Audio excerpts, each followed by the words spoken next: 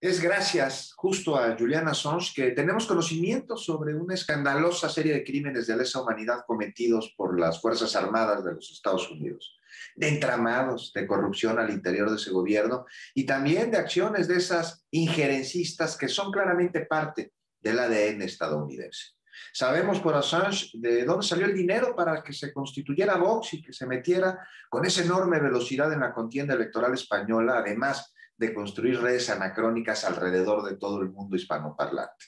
Hoy se sabe también, gracias al trabajo de Assange, que García Luna informó sobre operaciones de inteligencia en México al gobierno de los Estados Unidos, violando con ello la soberanía de nuestro país. Así es.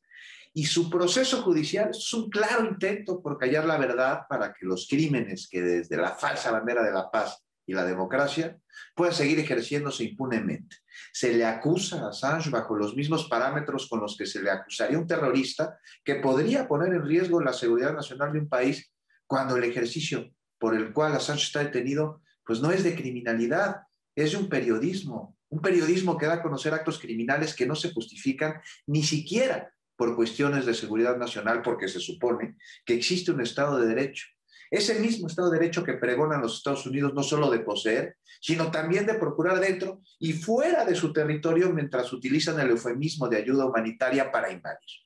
El proceso y extradición de Assange son injustos y ante ello, hoy México deja en claro ante todo el mundo, al exigir su exoneración y abrir las puertas de nuestro país, que no solo no nos compramos, sino que denunciamos ese discurso hipócrita de quienes con una mano dicen defender las libertades, pero con la otra las emparedan.